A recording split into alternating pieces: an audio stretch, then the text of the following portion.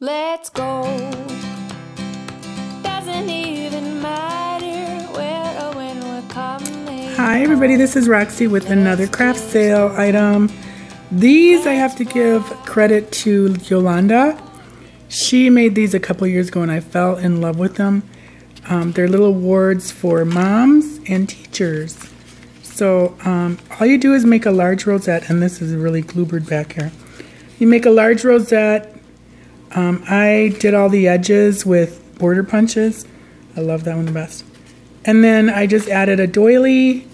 And this is an image I cut out, or I know I sketched it and cut it out from my Cricut, but I didn't like the mother on it. It didn't show up. So I just added some cloth washi tape from Dollar Tree.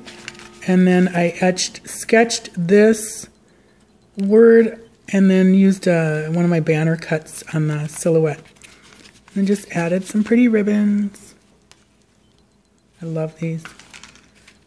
this is a teacher one. And what I did is I cut the girls out of Forever, Forever Young from the Cricut. And then Best Teachers from the Silhouette. And then I glittered all of it. Ooh, the genie's here. I thought that, I just think they're so pretty. And then all you do is put a clasp on the back, pin back. And I could have covered this up, but it was getting kind of thick. So there's that one. And then I used um, a spellbinder die to cut out the scallop circles back here.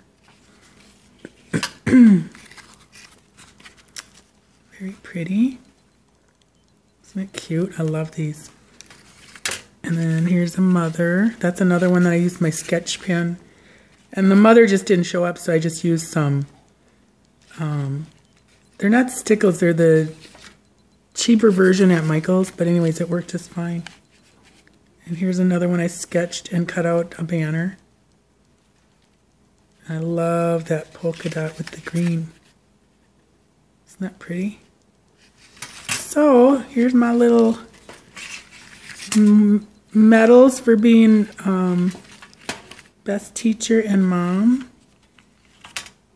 And give it a try. They're fun to make, especially when they start coming together. And you don't have to, excuse me, you don't have to use a silhouette machine or a Cricut. You could find any kind of images. You could put a photo on there, anything. It's really fun. So I hope you give it a try. Thanks. Bye.